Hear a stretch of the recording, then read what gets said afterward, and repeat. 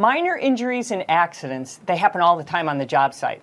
I can tell you we don't really like that, right? But when things get serious, someone needs to be accountable.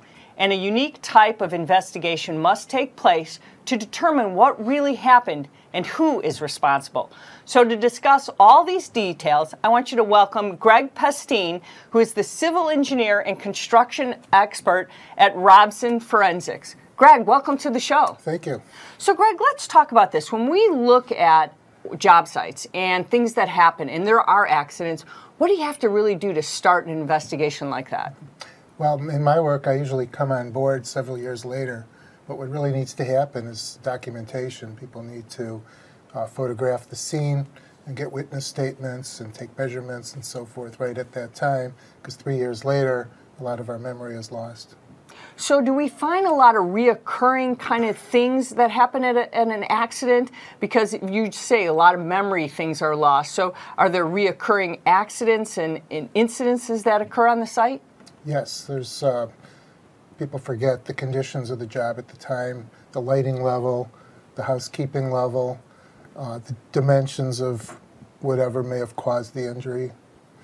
So, when you look at that, you're kind of kind of taking, I guess, uh, tracking the steps of an incident and kind of recording what people might not have remembered and trying to get them to kind of retrace their steps, so to so to speak. Right. I will uh, use people's deposition testimony, say, from three years or four years later. Um, a lot of times it conflicts uh, with several of the witnesses. So we need to make the best sense out of uh, the information that we get. That can't be easy. I mean, you're getting people to say, I think I recall this, I recall that. And it's not that people are trying to tell different stories, it's what they recollect at the time. Right, their perception could be different. And in my situation, I need to accept all of their testimony as being the truth. So, are you looking at like the plaintiff scenario in, in these cases? I mean, are you looking at saying it's a he said, she said kind of scenario? I could either be looking at the plaintiff's uh, side or I could be defending one of the defendants on the case. So, you're sometimes the bad guy. You're not necessarily the good guy, the bad guy. You're kind of caught in the middle in a lot of these. I help the, the, uh, the, the jury or the judge make a decision on what, you know, I help the justice system by providing the truth. So, what are you actually trying to find on these situations? Are you finding out that you know maybe the construction worker didn't do what he was supposed to do? It was it's unfortunate. I mean, let, us look at it honestly. Something happened that we don't really want to happen at the job site. We want everyone to be safe all the time. That's what we're looking at.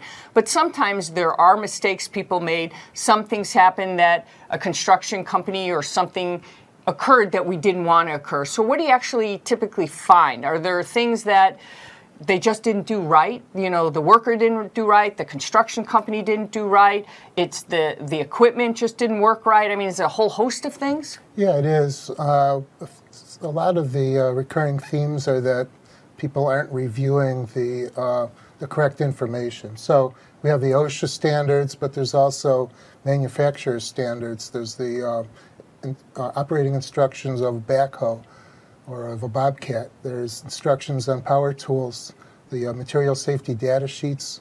So we really need to communicate what the manufacturers are saying about these products. So, does a lot of it have to do with really good training? Are we talking about if we really train our workers, we get them out there and they really know how to use the equipment, know what safety is all about? I mean, these are things that OSHA is saying the more training, the better the site is going to be ultimately? I agree with that you can't have too much training. But I think the training has to go more, more thorough, be more thorough than just what the OSHA standards say. I think we need to get involved in the actual materials and equipment that's being used.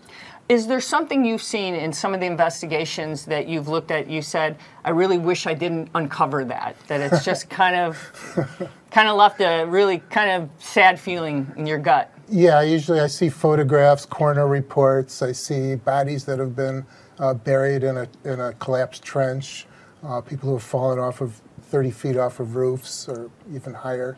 Uh, there's a lot of uh, really gruesome injuries, and sometimes I wish I hadn't turned the page and looked at them. You're the CSI of construction right now, right? I've actually never seen that show. so, looking at this, you know, when when companies call you or you know what, what's your first reaction? You're saying, look, I've got to get out there, I've got to do my job, and sometimes you, you don't feel comfortable doing that, right? I mean, you've just got, it's, you have a job to do. Well, first I have to feel comfortable that I can help them. Um, and if I can't help their side, then I won't take the case. So I won't get involved at all then. How do you determine when you take a case? What's, what's the look- underlying information? I look at some of the basic facts, uh, some, basically some photographs and um, the allegations of what went wrong. And um, then I'll do some basic research and look at the codes and standards and see if anything may have been violated uh, in a way that caused this injury. So ultimately, in the end, are you hoping to improve safety on the job site when you're done? That you've showing these construction companies this is the way you have to improve safety at the job site?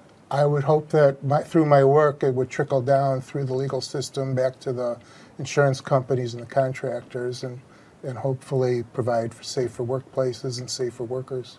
Well, Greg, thank you for joining us with on Safety Zone. We appreciate Thank it. Thank you. Thanks for having me. All right, well, that's our Safety Zone for today.